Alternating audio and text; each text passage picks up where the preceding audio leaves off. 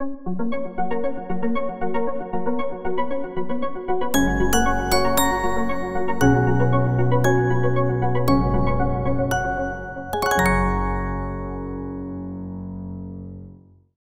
tendecillo. En vídeos anteriores te he hablado sobre cómo escoger la lana adecuada para tu aguja y viceversa. También hemos visto cómo hacer lanas más gruesas con un solo ovillo. Pero, ¿qué pasa cuando quiero usar varias lanas de calidades diferentes o de marcas diferentes? A veces la gama cromática de una calidad de lana es limitada. O nos gusta un color en concreto de otra lana, pero no sabemos cómo quedarán juntas. Hoy te voy a enseñar unos pequeños trucos para combinar lanas y calidades diferentes, incluso diferentes marcas, en un mismo amigurumi. Verás qué fácil. En el vídeo de hoy vamos a ver algunos de los hilados que más me gustan y de las marcas que más me gustan y cómo las combino en mis amigurumi. En este pequeño tutorial vamos a mezclar distintos tipos de hilo con grosores similares para usarlos en un mismo amigurumi.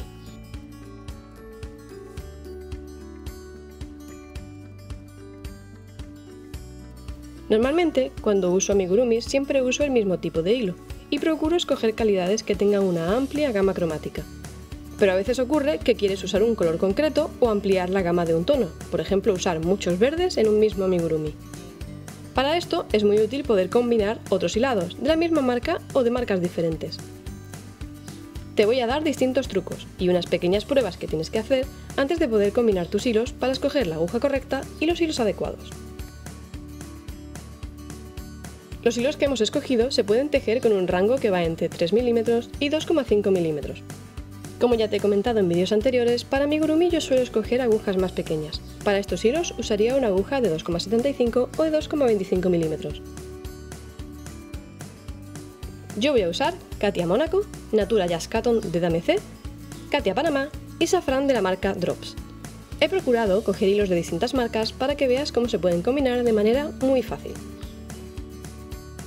Lo primero que tienes que hacer es un examen visual, comprobar que tus hilos son más o menos del mismo grosor. Esto lo puedes hacer en la tienda y normalmente lo vas a comprobar a simple vista. Ya puedes ver que los hilos tienen un grosor muy similar. Lo siguiente que tenemos que hacer es comprobar las etiquetas analizando una a una sus características. Si se trata de una compra online tendrás que analizar las características que te den en la descripción del producto. Las agujas que yo suelo usar, por si te lo estás preguntando, son de la marca Clover y son las Clover Amour. Tienes una reseña en mi blog. Vamos primero a analizar el hilo de Drop Safran. Es un hilo no mercerizado de aspecto muy natural. Vamos a ver la etiqueta a ver si cumple los requisitos que necesitamos. Lo primero que tienes que hacer es fijarte en la aguja. Este hilo es recomendado para aguja de 3 milímetros. Ahora vamos a fijarnos en la composición. Es un ovillo de 100% algodón. Tenemos que fijarnos en que la composición de todos nuestros ovillos sea más o menos similar porque cuando mezclamos diferentes composiciones puede dar problemas. Si mezclamos, por ejemplo, una lana acrílica con un algodón, la textura es ligeramente diferente. El algodón queda más rígido y puede que algunas partes de nuestro amigurumi sean más blandas que otras o no tengan la misma firmeza. En determinados proyectos esto puede ser un punto interesante, pero por norma general te aconsejo que uses composiciones similares. Vamos a analizar ahora el ovillo de Katia Panamá. Es un ovillo de color 25. Vamos a mirar la etiqueta. Es un hilado de 100% algodón, con la misma composición del anterior ovillo y si miramos en el apartado de la aguja, puedes usar una aguja de 2,5 milímetros. Como hemos visto antes, Safran era de 3 milímetros, por lo que entra más o menos dentro del rango de grosor que queremos para nuestro amigurumi. Ahora analizaremos el de Natura DMC. Es la calidad Jazz Cotton que es bastante utilizada para amigurumi. Vamos a ver su etiqueta. Nuevamente vemos que es un ovillo de 100% algodón, y tenemos aquí las agujas. Se puede tejer con agujas de 2,5 o de 3 milímetros, por lo que sí que está en el rango de nuestro grosor de agujas. Natura es un pelín más rígido que por ejemplo Safran, que es un poco más suave. Es también un poco más mercerizado. Esto quiere decir que tiene un poquito más de brillo. Si comparamos Safran con el ovillo de Natura, el ovillo de Natura tiene un ligero brillo que Safran no tiene, porque es un algodón no mercerizado pero la verdad es que juntos combinan bastante bien. Por último, nos queda nuestro ovillo de Katia Mónaco. Como te comentaba antes, este sí es un algodón mercerizado y que sí que se nota mucho más el brillo. Es un poco más rígido que los demás, esto tienes que tenerlo en cuenta, pero más o menos encaja con nuestro grosor y si nos interesa mucho el color, podemos combinarlo con los demás.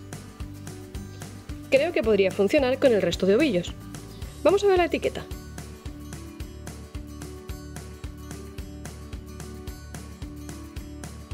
Volvemos a encontrar que es un ovillo de 100% algodón y en la etiqueta vemos que es para aguja de 3,5 o de 4 milímetros, que es un poquito más grueso que el resto de nuestros hilos. En este caso, lo que vamos a hacer es forzar un poco el hilo, usando una aguja más pequeña que la que nos recomienda la etiqueta. Puede que nos cueste un poquito más trabajarlo, pero se corregirá bastante bien y podemos usarlo con los demás hilados.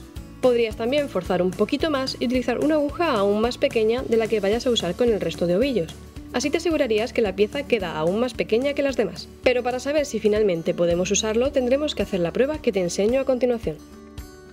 Lo que vamos a hacer ahora es tan sencillo como hacer una pequeña muestra. Vamos a empezar por el ovillo de Natura, que va a ser el color marrón clarito. Al final yo voy a usar una aguja de 2,75 porque es una media entre todos los grosores.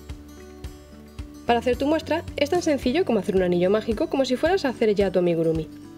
Empezaré con 6 puntos y luego una vuelta de 6 aumentos y una vuelta de un aumento y un punto bajo, repetido en toda la vuelta.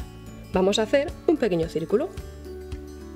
También puedes hacer la muestra tejiendo en recto, pero yo prefiero hacerlo en redondo porque creo que se nota mejor el tamaño.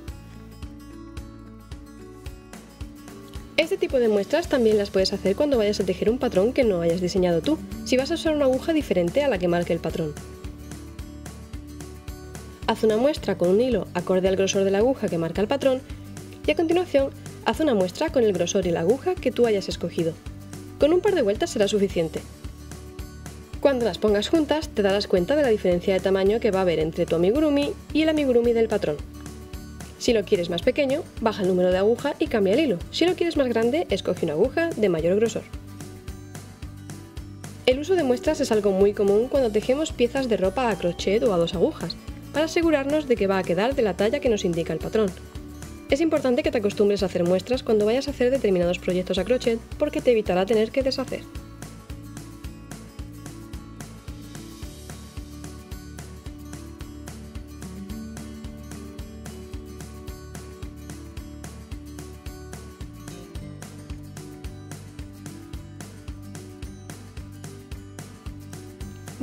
Ya he terminado mi muestra con nuestro anillo mágico y nuestras dos vueltas. Ahora lo que tenemos que hacer es repetir el proceso con todos nuestros ovillos y ver si efectivamente tienen el mismo tamaño. Gracias a la magia de YouTube, aquí tengo todas mis muestras ya tejidas. He hecho cuatro muestras con nuestros cuatro ovillos de cada color.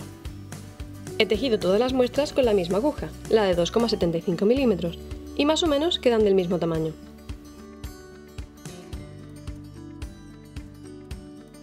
Hay una pequeña diferencia que podemos encontrar en el ovillo de Katia Mónaco, que como ya habíamos visto al mirar la etiqueta, era un poco más grueso y un pelín más rígido que el resto de algodones. Pero bueno, no es algo que vaya a entorpecernos mucho y puede combinarse bien con los otros y no va a afectar excesivamente al tamaño de nuestro amigurumi. También encontramos una pequeña diferencia de tamaño en el ovillo de Natura, que es un pelín más grueso que los otros dos. El ovillo de Katia Panamá y el ovillo de Drop Safran combinan perfectamente y tienen el mismo grosor, pero los otros también los puedes usar sin ningún problema dentro de un mismo amigurumi porque entran dentro del rango de grosor que nos interesa. Yo los suelo combinar también con ovillos de Katia Amigurumi. Una vez que hayas determinado los grosores y hayas comprobado que se ajustan bien y se combinan entre ellos sin problemas de tamaño, solo nos queda una cosa, tejer nuestro amigurumi. ¿Qué te ha parecido este truco? Ahora te toca a ti experimentar. No olvides dejarme un comentario, dar un like al vídeo y compartirlo en tu red social favorita. Y por supuesto suscríbete para no perderte nada. Si lo pones en práctica, no olvides etiquetarme en las redes para que pueda verlo. Nos vemos en el siguiente vídeo, donde También puedes ver estos otros vídeos.